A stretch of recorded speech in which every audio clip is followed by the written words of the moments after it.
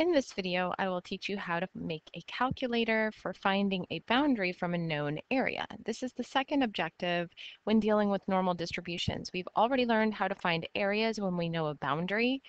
We can find an area which represents a probability under the bell curve. Now we'll be going inversely to that. And so we'll begin as usual by entering a mean and a standard deviation. We'll begin just assuming we're dealing with the standard normal distribution.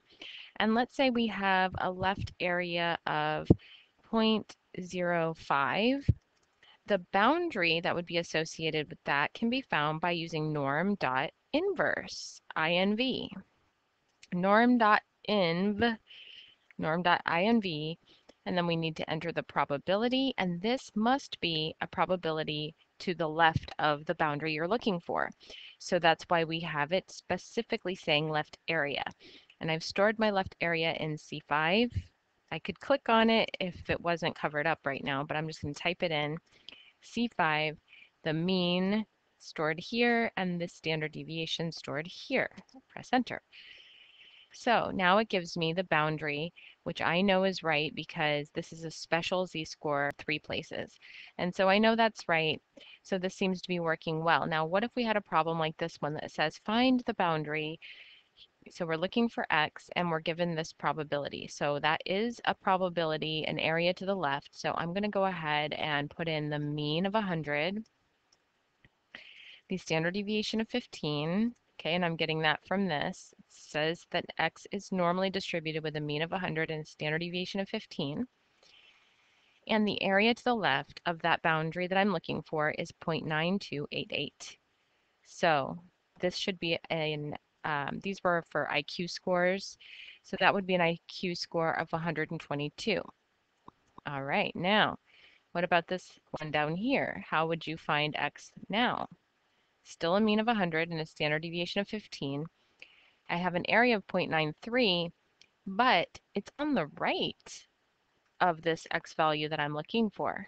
So I need to do 1 minus 0.93 so that I'll be getting the area on the left here, which would be 0.07. And then I'll get my boundary of 77.863 which makes sense because that would be less than the mean of 100. So when doing this, just make sure that your answer makes sense. Notice that I was careful to check that my x boundary that I found, which looks like it's to the left of the mean, so it should be less than 100. Likewise, for my first example, 0.9288 on the left gave me an IQ score of 122, and that should be to the right of the mean, so greater than 100. And that made sense too. Now, what about a question like this? Find the 95th percentile of IQ scores with a mean of 100 and a standard deviation of 15. Okay, so so far we have the mean of 100, standard deviation of 15. It says find the 95th percentile. Well, remember a percentile is an actual divider, and that would be your x score that you're looking for. The 95th percentile divides the lower 95%. So then my left area should be 0.95, and then I would get the answer of 124.673. So about an IQ score of about 125 is the dividing line between 95% of the population and the upper 5%.